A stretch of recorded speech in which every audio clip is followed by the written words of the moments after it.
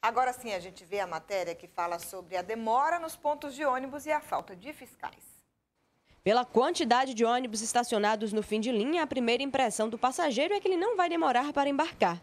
Mero engano.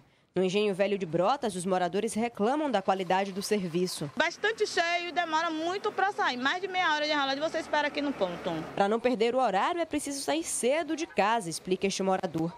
Perguntam sobre os fiscais. A resposta já era de se esperar. Aqui no ponto nunca vi. O problema se repete no Engenho Velho da Federação.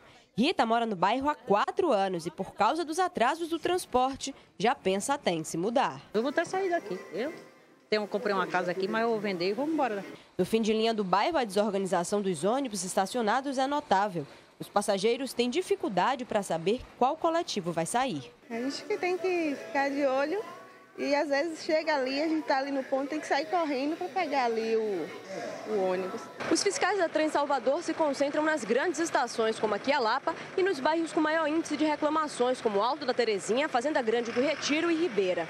O passageiro que pega ônibus no fim de linha também pode agir como um fiscal e denunciar os atrasos. Basta ligar para os números 2109-3679 ou 2109-3641. Segundo o diretor de transportes da Trem Salvador, são apenas 300 agentes para atender toda a cidade. Por isso, a escolha pelos pontos mais movimentados. Salvador tem mais de 150 bairros. A gente não tem condições. Nós centralizamos a nossa fiscalização mais nas grandes estações, onde nós absorvemos a maior quantidade de linhas.